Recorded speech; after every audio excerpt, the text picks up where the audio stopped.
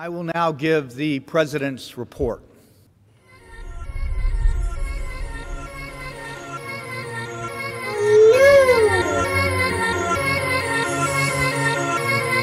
Yeah, y'all know what it is. Katy Perry, Juicy J.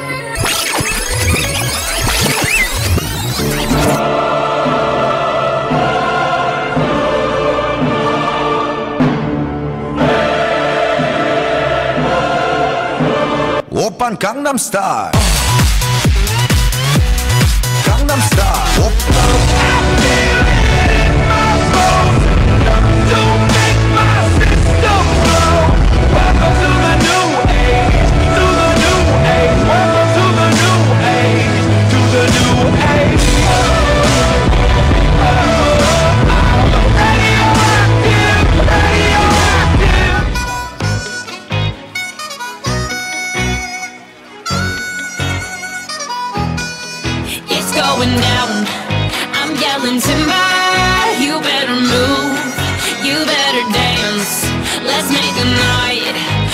Won't remember.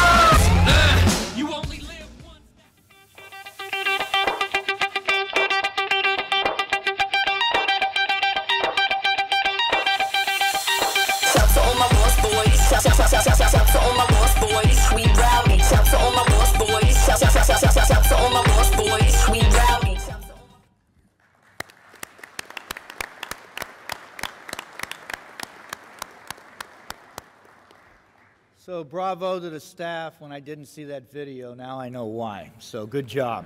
Good job.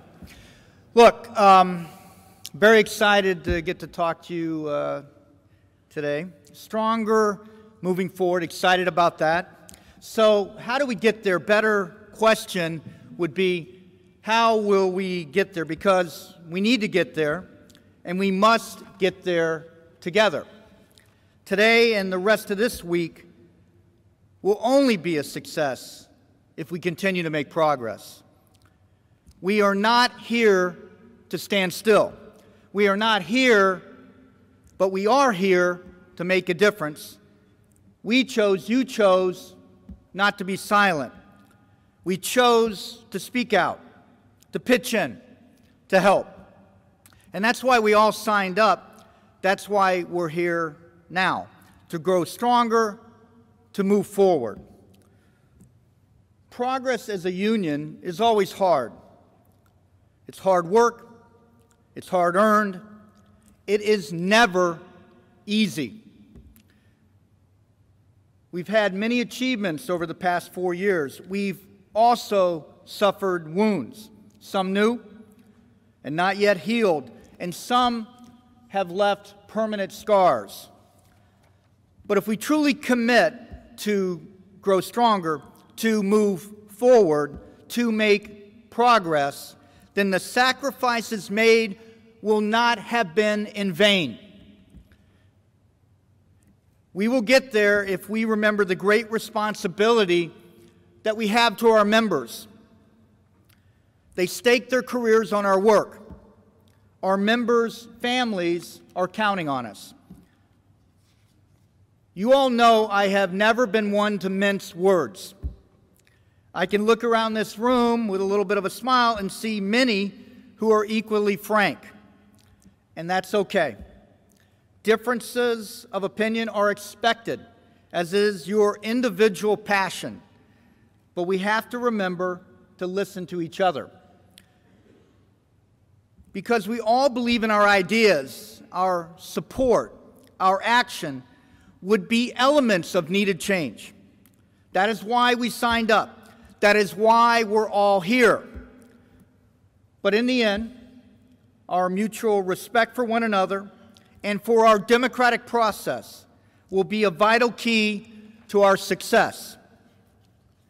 Right now, we're all hyper focused on who will make up the team of elected officers to lead this union stronger moving forward. Once the official results are announced, we will have our answer. We will have consensus of the majority to build this union to be stronger moving forward. Now, some will say they will be the change, and others will say change will never happen. So, who's right? Who's wrong? The real question is who will step up and have the strength to make the hard decision when you're faced with the not perfect negotiation or the not 100% consensus of a group or tackle an issue that doesn't immediately impact all 30 pilot groups. Leading is not an easy job, and we can all attest to that. And as I reflect on my four years as ALPA president, I leave with mixed emotions. As a whole, our union is strong. I believe the strongest it's ever been. But the goal of this board of directors must be, must be to leave stronger. I believe we'll get there because we now have the strength advantage that we did not have four years ago. And our strength advantage defines us. It defines us. It permits us to step forward and to lead as the voice of the airline pilot, as the indispensable union in the industry, as the workhorses, as the workhorses for positive change. So, how did we achieve this strength advantage? We've reorganized, aligned our structure and our staffing with our members' goals. We've made dramatic improvements to our processes to create efficiencies and eliminate waste. We've increased services. We've coupled our staffs and our members and created an incredible place for them to work. We've disposed of external risk factors that were once a dark shadow over our union, and we've positioned ALPA to be financially strong. Now, look, this is all great, but it is not good enough. To truly be stronger moving forward, we have to continue down the path of proactive change. To achieve these goals, I, I believe we must signal to our members and to those that are not yet a part of ALPA that we are continuing down the path of, of growth, being the indispensable union for all pilots. The vision, which was the vision of the key men who founded our association, one union for all pilots, of aggressive advocacy, of progressive bargaining, taking advantage of the best bargaining environment since 9 11 that we've seen for many, not all, for many of our carriers, and of supporting those carriers that are suffering from economic hardship with the full force and support of this union, of financial stability, and of judicious use of our members' dollars. Because of this strength, because we're on the path before you this week, is a proposed dues reduction resolution. Now, its very consideration is a symbol of our strength. We can do a reduction without reducing services.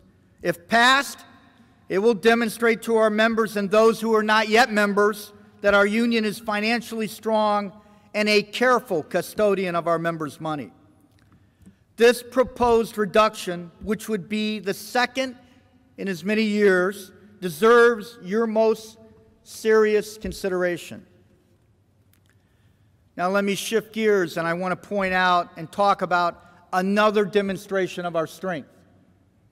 Four years ago, the JetBlue pilot leaders were at this board of directors meetings as our guests. We were in an organizing drive at JetBlue Airways. We lost that election. Not because their leaders didn't want to join ALPA or that their pilots didn't want a union, or because we didn't work hard enough, but because too many pilots were questioning our viability. It was a low point, I'm not going to kid you. And it was a wake up call, you know that. And we were down, but we were not out. And our history is we never ever give up. Not in 83 years, and we sure as didn't give up then. Now, we knew that we had to get our house in order to succeed. And we made a commitment. And the JetBlue pilots made a commitment to work, and work they did.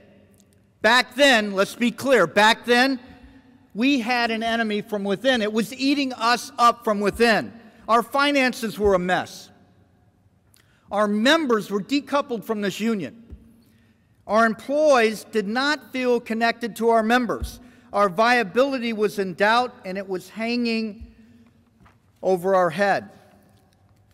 By the 2014 JetBlue election, we turned around in every area where we were previously suffering. And today, we are in the best financial position this union has ever been. Dues have been decreased, services have been increased, expert staff great place to work. Litigation risk, hear me clearly, litigation risk gone. And today, with our house in order, JetBlue is with us at their first board of directors meetings as members of ALPA. Would the JetBlue leaders please stand up?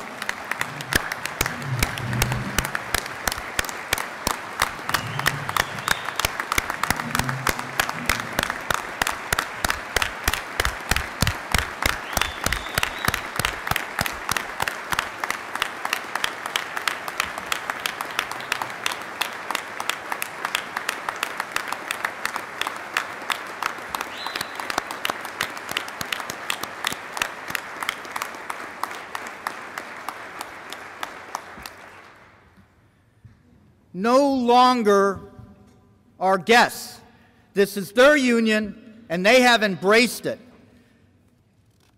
Not known to very many people, they are here today setting additional records. They're here with 95% of their members already having joined ALPA. Listen clearly. We owe it to them. We owe it to our members in bargaining and in mergers. And we owe it to our members about to enter bargaining, and we owe it to our members who are just getting out of bankruptcy. And we owe it to our members who put their lives on the line every day to ensure that this union remains their voice, their stewards, and their safeguard. And we can only achieve that if we're stronger moving forward. No more going backward. No more looking back and whining about what happened. I can't change that, and you can't change that. Stronger forward together. That's what we have to do. That's what you need to do. And with that in mind, let's take a quick walk through where we stand on a number of issues and how we're going to continue to get stronger moving forward. So, globalization is the lo- logical place to start. It affects every pilot, it's very real. ALPA is working on all fronts to ensure that our airlines and our pilots have, have a fair opportunity to compete internationally and therefore are stronger moving forward. In May, in May, with 100% approval from the executive board, ALPA launched Save Our Skies. Now, SOS is a forward looking advocacy campaign to help safeguard our pilots' careers. NAI's flag of convenience plan is at the top of the list of immediate threats. We, ALPA, recognize the threat, and we got in the game, and we are leading the charge to deny NAI. Through earned, earned news media, paid advertisements, and aggressive Washington lobbying, ALPA riveted attention on the unfair economic playing field for U.S. airlines and their employees. We generated more than 35,000 petition signatures and more than 160 members of Congress opposing NAI's scheme. ALPA members alone sent more than 70,000 messages to Capitol Hill.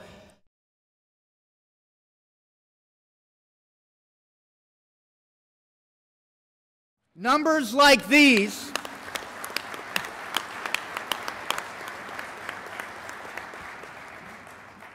Numbers like these demonstrate that we're a union that values workhorse over show horse behavior.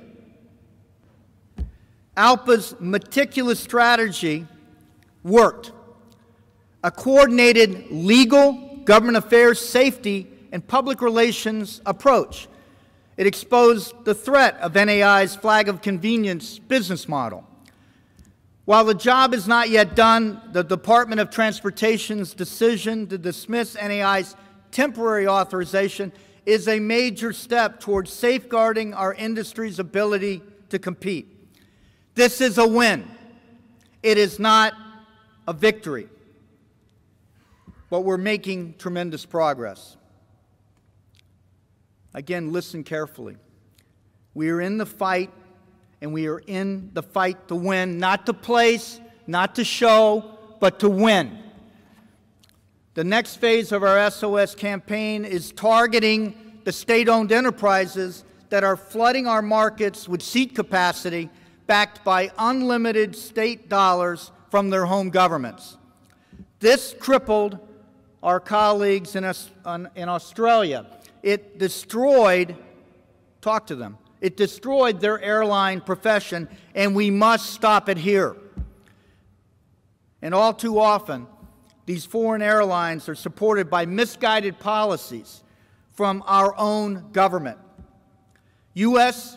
and Canadian aviation policy must foster a robust airline industry and good jobs while allowing airlines to continue to benefit from open skies and bilateral agreements. This can be done, but only if these agreements contain provisions that advance the value of high labor standards and identify identify unfair state created competitive advantages and account for them. What we need is Open Skies 2.0. What we need is fair skies. And this campaign will be a major initiative for the Airline Pilots Association.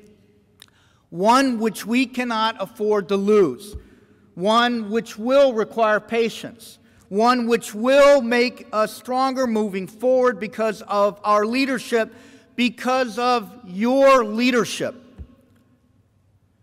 ALPA also continues an aggressive drumbeat to reform the U.S. Import Export Bank's financing to ensure that it helps all, and let me underscore, all U.S. workers compete globally. We continue to call for U.S. Customs resources to fully staff United States airports before new foreign clearance, foreign pre-clearance facilities are opened. You know, it really shouldn't be so damn hard, but it is. And we need to be determined. As the leaders of ALPA, the leaders of the voice of the airline pilot, we must do whatever is necessary to prevent our flying from being exported to airlines with unfair competitive advantage, advantages. And this is the heart, the heart of SOS.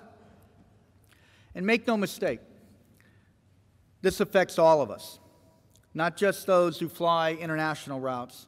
Success in the global marketplace is essential if we are to have healthy domestic airlines. ALPA's indispensable leadership and strength have proven to be a powerful asset across ALPA's broad advocacy strategy. As you heard from Sean, our union has been the voice of pilots and the voice of reason in dealing with the Ebola virus outbreak and its effect on air transportation. While the government must act on opportunity to improve, ALPA fully supports its efforts to minimize any risk with appropriate precautions. We will hear more about this later in the week from our guest speakers. In more advocacy work, ALPA also maintained funding levels for the Federal Flight Deck Officer Program, secured an increased level of funding to continue the HIMS program, and prevented taxes, prevented taxes on employer provided health care benefits. Your union's leadership is on display around the globe on a daily basis. ALPA is leading the charge for progressive change on a wide variety of issues lithium metal batteries, remotely piloted aircraft, the temporary foreign worker program in Canada, Canadian wet lease policies, the Fly America Act, which ensures U.S. carriers are flying American government workers, the Transparent Airfares Act, which shows the true cost of an airline ticket, the taxes to consumers, the Safe Skies Act, which will connect the cargo, which will correct the cargo carve out from FAR 117. And your union continues to advance risk based aviation security, including the program that we co founded, Known Crew Member, which will be available, as Sean showed you, at 60 U.S. airports by the end of the year.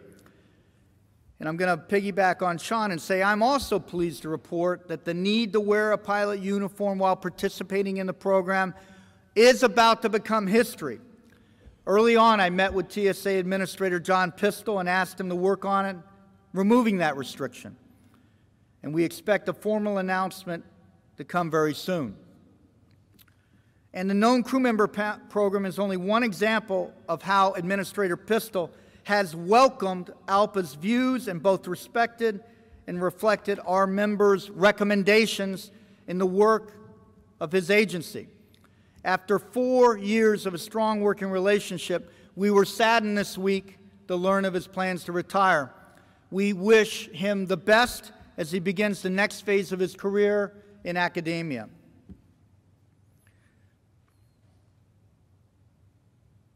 We are equally intent in our determination to achieve one level of safety and security in the airline industry.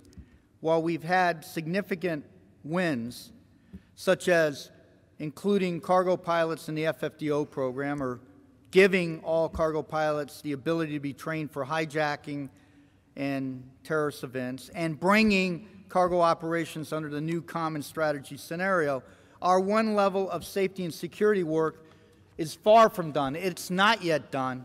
And this includes the fact that all cargo pilots still work in operations outside of the SIDA, the secure area of the airport, without requirements for airport fire and rescue. And all cargo pilots are not protected equally from pilot fatigue. This union, your union, our union will never stop fighting for each of our members for the sake of all of our members.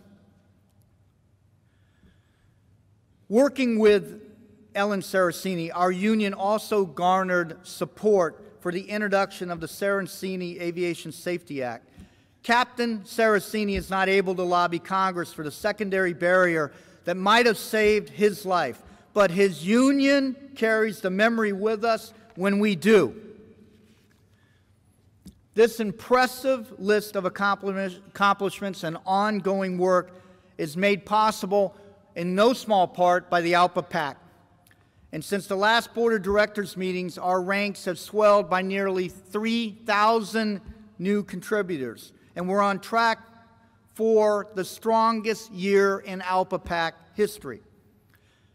More than 17% of our ALPA members participated, compared to just 12% in 2012.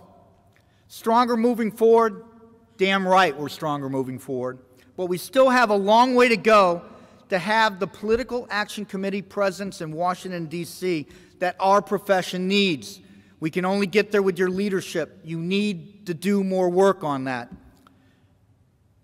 And make no mistake, make no mistake, if the leadership doesn't come from us, ALPA, and all the representatives in this room, it won't come at all.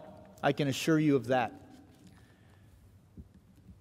In addition, ALPA's new District Advocates Program pairs our members with their congressional representatives in their home districts. And to date, we have more than 200 advocates in 118 congressional districts. Their actions clearly make a difference. And employing the same successful campaign style tactics as our SOS campaign, ALPA aggressively exposed the bogus pilot shortage for what it actually is a pilot pay shortage, a shortage of jobs that deliver a fair wage, a wage commensurate with the education, training, experience, and responsibility of the position.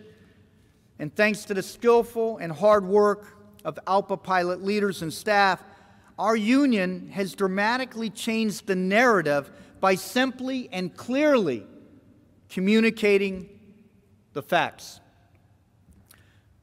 Recently, we released a whiteboard vi- video on pilot pay that turned heads, it went viral, and it's had, as of today, 120,000 views. The enormous response is further proof that the attempts by some airline managements to use a fabricated shortage as an excuse to cut service and try to roll back, roll back safety regulations is completely false. ALPA will not allow safety to be sacrificed so certain airlines can line their wallets. We're calling them on it with aggressive tactics that are clearly winning the narrative. Listen, we have redefined the way to fight, and we have redefined the way to win. Our campaign defining the pilot pay shortage not only defends safety rules, it also lends itself to our bargaining strategy. In the bargaining arena, our members in the fee for departure sector are being forced to deal with the results of, of bankruptcies, of mergers, repeated changes of direction at the bargaining table, downsizing, fighting for job stability, and on and on and on. Our members who once knew stability are being forced to fight for their careers. Our members are frustrated and they're dissatisfied, and some have sent their bargaining committees back to the table. Yes, some of our fee for departure carriers are seeing positive change, resulting in more flow to mainline carriers, but many others continue to face painful decisions for them and for their families. Despite what you might hear, there is no silver bullet. Getting through this difficult time is going to take hard work by all of us. And there's one group For every problem, there is one group that comes up with a solution. Well, we are going to be that one group to solve this problem. The people in this room, the leaders in this room. And despite what you have may, may have read on the web boards, ALPA is all in in getting this fixed. As a stronger union moving forward, we must continue to pursue a bargaining agenda that justly rewards our members for their contributions to the success of their carriers. Now, with all, with all managements, I believe in the following policies. We can have stable and mutually beneficial business relationships with managements that respect our association. They must also share our interests in mutually constructive labor relations. They must reach equitable agreements. They must resolve disputes. And look, we know that they will not always support our view and that we will not always agree easily, but we will do our part with managements to find solutions to genuine problems. Now, as for managements who do not work constructively with us, who do not respect the principles of union representation, who do not wish to deal with issues or resolve disputes, or who do not wish to make and honor to honor agreements, we will be strong, we will be aggressive, and we will never ever back down. For our members at large jet airlines, this is clearly the best bargaining environment we've seen since 9 11, and we are poised to build on our recent gains. The losses that were suffered in the bankruptcy era continue to sting, but we will continue to make progress as contracts open for negotiations. On the plus side, airlines are paying off debt, they're improving their balance sheets. They're demonstrating the stability of investment grade contracts. Further helping our cause is the narrowing of contractual differences among the largest airlines. The American U.S. Airways rates will rise thanks to a pay adjustment clause in their pilot's contract that enables them to piggyback, enables them to piggyback the gains we ALPA, you, that were made at Delta, that were made at United. With their raise, again, based on ALPA's success, we will no longer be negotiating in an environment that has a major competitor with drastically lower pay rates. Once again, proving that ALPA is the leader in the industry, the indispensable union, and the workhorse, not the show horse. In this next round of negotiations, we will be in a better position to pattern bargain off each other's successes and can work to narrow the discussion. This strategy will allow us to focus on the items that are most important to the pilots and their families and to negotiate new contracts in much shorter time frames. Look, and again, you know, really to hell with three and four year negotiating timelines. 40 months is too damn long. Okay, the, con- the contrast in these environments in different sectors requires all of us to understand the intense frustra- frustration of those in our ranks. We can get this done on or before these amendable dates. For our colleagues who face the most threatening conditions, we have to work harder. And it's here where our strength and our resolve will be tested. And it is a test. No enemy, no enemy from outside can hurt us when we stick together. We must not attack each other. And it's easy to give up, and it's easy to do nothing, and it's easy to blame others, and it's easy to whine. But if you remember one thing from this speech today, I want you to remember this that I said, and I live by this. Easy is evil. Easy is evil. and we must not let evil win. And to be successful, we must not allow the labels of managements, mainline, regional jets, international, domestic, cargo, supplemental, on and on. We must not let those labels divide us. If we are divided, we will fail. If we are united, we will prevail, and we must remain resolute to this cause. And while we are focused intently on moving forward, it is important to also remember our customs, our history, our past, and this year, our great staff has worked to bring our union's history to life.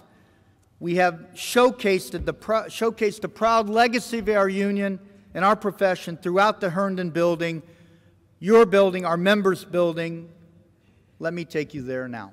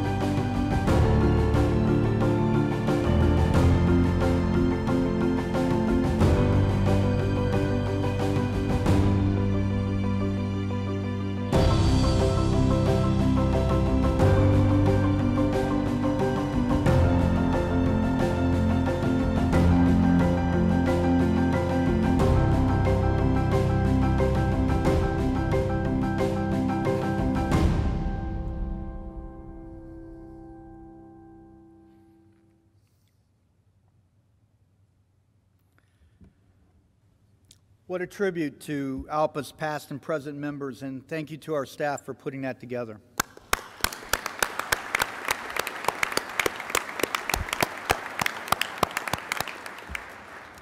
Now to, now, to be stronger moving forward, it's important that we understand and we respect our history.